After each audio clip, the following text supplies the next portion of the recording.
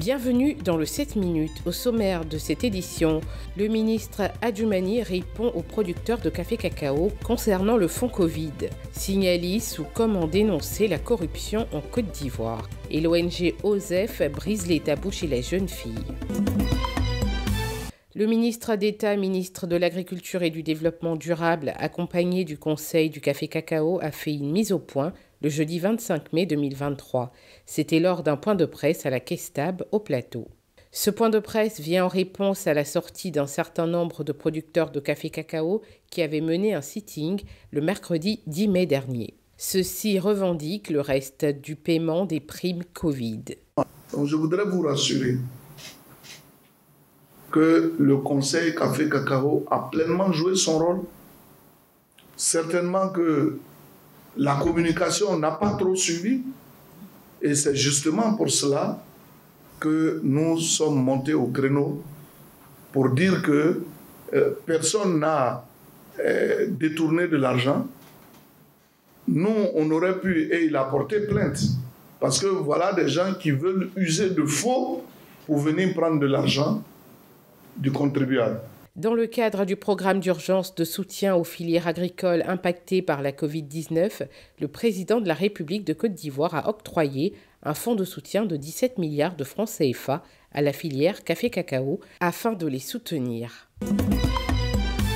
Désormais, les Ivoiriens pourront signaler les actes de corruption. La Haute Autorité pour la Bonne Gouvernance a lancé Signalis le 25 mai dernier. C'est une plateforme multicanale sécurisée de recueil des plaintes et dénonciations. Elle a pour but de renforcer le dispositif de recueil, de centralisation et de traitement des plaintes et de dénonciation de la haute autorité pour la bonne gouvernance. Mais à euh, une fine, tout le public est euh, invité à euh, mettre vraiment en œuvre cette machine qui devrait permettre de faire en sorte que euh, les corrupteurs et les corrompus ne soient à aucun moment euh, en sécurité euh, par rapport à leurs, à leurs actes.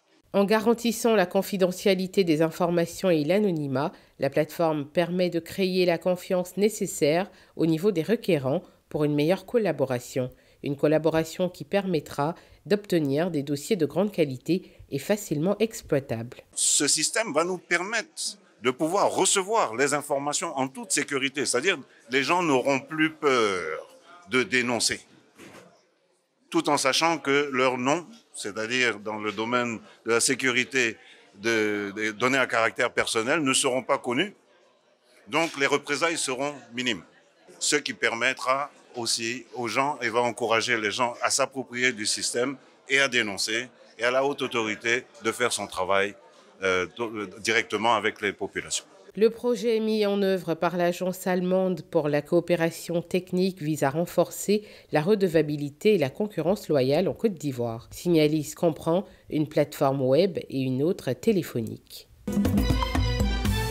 Objectif presque atteint pour l'équipe de coordination du projet de l'enquête sur les plantes médicinales dans la prise en charge de trois maladies infectieuses, à savoir la filariose lymphatique, l'onchocercose et la schistosomiase. La médecine traditionnelle est capable de traiter ces trois pathologies. Alors, ces plantes soignent traditionnellement. Est-ce que scientifiquement c'est prouvé? Ça va être la seconde étape. Et puis, plus tard, après, donc, si c'est vérifié, donc, euh, formuler des phytomédicaments ou encore des médicaments traditionnels améliorés pour aider donc les populations à se traiter. Ce projet est financé par le Fonds pour la science, la technologie et l'innovation et le Centre de recherche pour le développement international du Canada. Que ce projet, étalé sur 16 mois, répond parfaitement à l'ambition de la feuille de route du FONSTI de financer des programmes et projets de recherche susceptible d'avoir un impact bénéfique sur le développement socio-économique et culturel de notre cher pays. Les maladies tropicales négligées constituent un groupe d'affections qui sévissent principalement dans les zones tropicales où elles touchent plus d'un milliard de personnes dans les communautés les plus pauvres.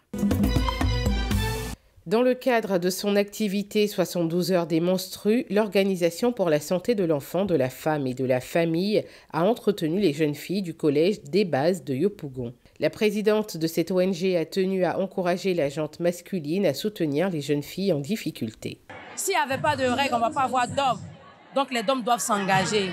Ils doivent s'engager à continuer cette lutte auprès de leurs femmes, auprès des enfants, auprès de la société, auprès des décideurs. Nos décideurs actuellement, ce sont les hommes. Et on dit aux hommes qu'on souffre à cause des règles. On souffre parce qu'on n'a pas droit aux serviettes. On souffre parce qu'on n'a pas de médicaments. On souffre parce qu'on n'a pas de congés menstruels. On doit avoir des congés menstruels pour des femmes qui souffrent d'endométriose et de douleurs invalidantes pendant les règles. Et. Un moment de partage et d'interaction entre les jeunes filles et les responsables de l'ONG OSEF. Cette action a eu le soutien de l'ambassade du Canada l'autonomisation de la femme et des filles, c'est une priorité pour nous et l'autonomisation passe par les opportunités pour les jeunes filles et les jeunes femmes. Les opportunités passent par le fait, entre autres, de prévenir les grossesses précoces, de mieux construire et de déconstruire c'est quoi les cycles menstruels et on est très fiers de s'associer avec l'ONG ONCEF, avec Madame. L'activité 72 heures des menstrues est une tournée qui a pour objectif de briser tous les tabous liés à la précarité menstruelle. Le village des lépreux à Est la prochaine étape. C'est la fin de cette édition. Merci de nous avoir suivis. L'information continue sur cette info.